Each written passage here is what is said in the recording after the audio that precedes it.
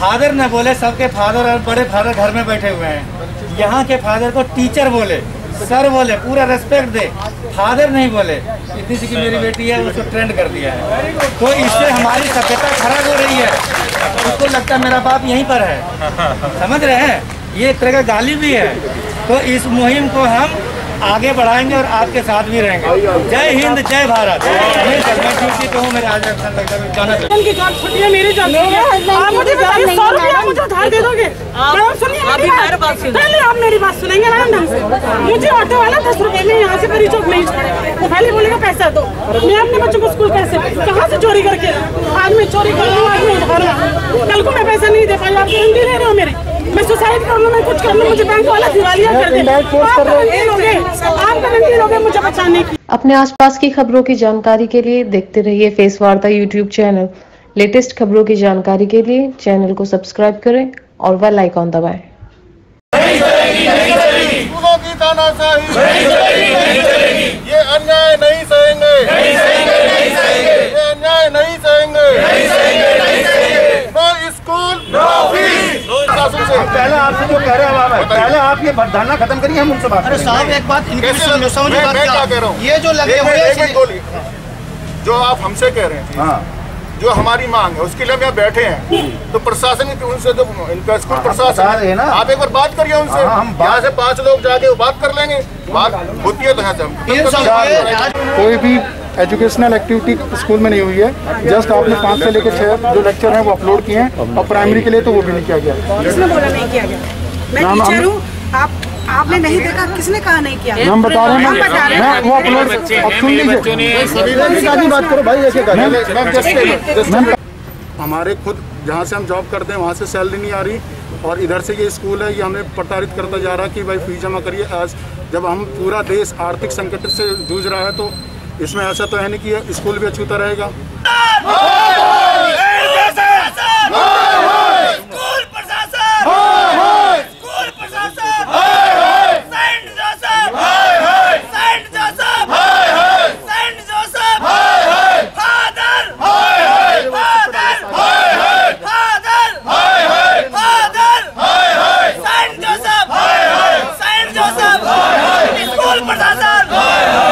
अवैध है। अन्यथा मजबूरन मुझे आप लोगों के खिलाफ कार्रवाई करनी है। बात समझ रहे? पहला मेरा समझाने का तरीका है कि मैं आपको समझा रहा हूँ। दो आदमी जाके आप प्रिंसिपल साहब से मिलिए या दो आदमी आप जाके डीएम साहब से दो चार आदमी जाके धरना प्रदर्शन अवैध। जी बताइए। हम डीएम साहब के यहाँ भी गए हैं। जी। ठीक है प्रशासन से मिलने की कोशिश करिए मैसेज इस तरह से थ्रेट मैसेज आते हैं कि अगर आपने फ़ीस जमा नहीं करी तो कौन सा कानून है कि एग्ज़ाम नहीं देने देंगे? सुनिए मेरी बात। अरे जी, क्या मांग है आपकी जिसको लेकर आज जो है सेंट जोसेफ स्कूल के सामने आप लोग बैठे हुए हैं? नहीं, हमारी मांग यही है कि जिस तरह से स्कूलों ने फ़ीस के प्रति अपनी मनमानी जो है उनको अपनाया हुआ है, उसके खिलाफ हम यहाँ पर बैठे हैं। हमारे जितने भी पेरेंट्स भाई हम सब बैठे हैं यहाँ पर, उनकी यही मांग है कि अप्रैल, मई, जून की फ़ीस माफ़ हो और जुलाई अगस्त का जो महीना है जब इन्होंने ऑनलाइन क्लासेस शुरू किया है उसकी हम ट्यूशन फ़ीस देने को तैयार हैं। ये हमारी मांग है। अंदर मिलने की कोशिश करी या नहीं करी जी सर? मिलने की कोशिश से पिछले दस पंद्रह दिन से हम सब पेरेंट्स कर रहे हैं। लेकिन वो ना मिलने की कोशिश करते हैं ना हमसे बात करने की कोशिश करते हैं। ऊपर से हैं हैं बोलते हैं? कि अगर आपके बच्चे ने आपके बच्चों के अपने फ़ीस जमाने की तो हम ना एग्ज़ाम देने देंगे और स्कूल से निकाल लेकिन मैं एक बात आपको बताना चाहता हूँ। जो हमारा एजुकेशन मिनिस्ट्री का जो ऑर्डर है डीएम साहब से हमारी बात हुई उनका कहना ये है कि स्कूलों की जो फ़ीस है वो उसमें जो बच्चे एग्ज़ाम दे रहे हैं या जो बच्चे स्कूल आ रहे हैं या नाम काटने की इनके पास कोई अधिकार ना ये बच्चों को परीक्षा देने से रोक सकते हैं ना बच्चों को ऑनलाइन क्लासेस से रोक सकते हैं ना स्कूल से रोक सकते हैं कि जिसकी वजह से आप किसी की फ़ीस जमा नहीं हुई है। फ़ीस जमा करने को सब तैयार है लेकिन वो जो माफ़ होनी चाहिए जब क्लासें नहीं चली जब लाइब्रेरी यूज़ नहीं हुई कंप्यूटर लैब यूज़ नहीं हुई तो किस बात की फ़ीस होनी चाहिए मई अप्रैल मई जून की?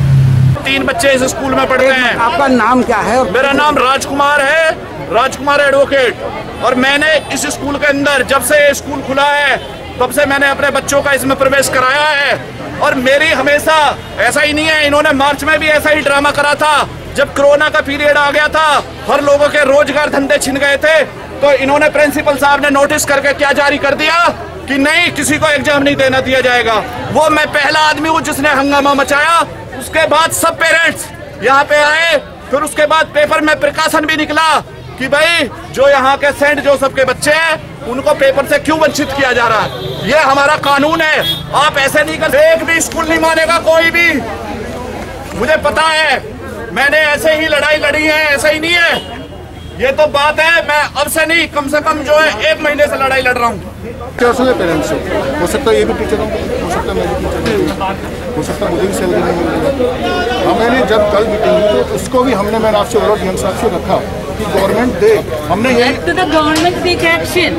We are ready to accept. First complete my question हमने बोला कि आप तीन महीने को अप्रैल मई जून हमने गवर्नमेंट से ये बात करी डीएम साहब के माध्यम से एक महीने की स्कूल गवर्नमेंट दे, क्योंकि टीचर को भी सैलरी चाहिए। एक महीने की स्कूल माफ़ करें, और एक महीने की स्कूल पेरेंट्स दे दें सबका सोल्यूशन हो गया ना।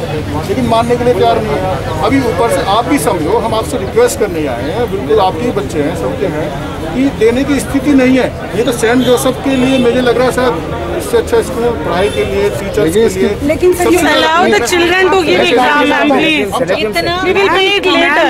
We will pay it later surely. मैं मैं कह रहा हूँ ना हमारी आपको मैं पिछले साल का रिपोर्ट दिया मैम जो मैसेज गया है ना वो उनके लिए गया है जनवरी फरवरी मार्च जिसका रिज़ल्ट दे दिया है ना मैम प्रशासन का ये कहना है कि अप्रैल मई जून फ़ीस कोई वेव ऑफ़ कोई डिस्काउंट वो नहीं करेंगे जब तक डीएम का ऑर्डर नहीं आएगा जिन बच्चों के एग्ज़ाम हो रहे हैं उनको एग्ज़ाम से नहीं रोकेंगे। क्या उनको फ़ीस जमा हुई है नहीं हुई है। तो हमें एग्ज़ाम तो बच्चों को कराने ही है सब कराए अपने मेरे हिसाब से तो। बच्चों को पढ़ाने में वो सफ़र नहीं करना चाहिए। बच्चों के एग्ज़ाम वो करवाएँगे। अप्रैल मई जून वो फ़ीस माफ़ नहीं करे जुलाई अगस्त की ट्यूशन फ़ीस लेने की वो तैयार नहीं है। ये हमारी दो लड़ाई अभी रहेंगी। उसके लिए हम आगे भी हम जोसेफ की लड़ाई नहीं है सभी स्कूलों के लड़ाई सभी स्कूल चाहे उसमें आज सेंट जोसेफ जी। आज सेंट जोसेफ पे आए हैं क्योंकि एक साथ हम ऐसा तो नहीं हो सकता डीपीएससी पहुँच जाए हरियाणवी पहुँच जाए सेंट जोसेफ पहुँच जाए। जितने भी स्कूल हैं गौतम बुद्ध नगर में ये हमारी बात सबसे है कि सब बच्चों को राहत दें उन्हें फ़ीस करें। और आगे आपकी क्या राय है वो अपनी अपनी राय राय रख दे यहीं बैठना चाहते हैं तो बैठते हैं अभी। यहाँ बैठो अपनी अपनी राय रखो सब। अपनी राय रखो।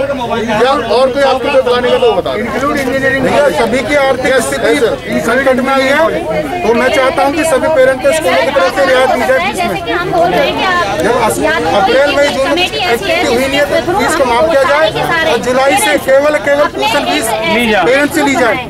हम एक गली में रहते हैं। ठीक है हम गली में रहते हैं तो हमको अपने मेरे पास में ही है मैं इनको बोलूँगी ये अगले वाले को बोलेंगी। अपनी पूरी गली में सबको पूरी सबके हैं। बताओ चाहे वो कोई भी स्कूल का क्यों नहीं है पेरेंट्स सब स्कूल को सब स्कूल वालों को बताओ कि सब एक होके चले। अगर जब तक हम में एकता जब नारी शक्ति एक नहीं होगी ना तो कुछ भी नहीं हो सकता। हो जाएगी तो चल जाएगा सरकार का भी। पहले फ़ीस माफ़ कराओ। जब हमारे घर में काम नहीं आ रहा जब हमारे घर में एक भी पैसा नहीं आ रहा हमारा काम ही नहीं चल रहा। हम बिज़नेस वाले हैं हमारे बिज़नेस बिल्कुल ठप पड़े पाँच छह महीने से। हमारे घर में एक रुपए का पैसा नहीं हम कहाँ से भरे? बस खान खाना इसलिए पड़ रहा है ताकि भूखे मर ना जाए। खाना इसलिए पड़ रहा है ताकि हम भूखे नहीं मर जाए।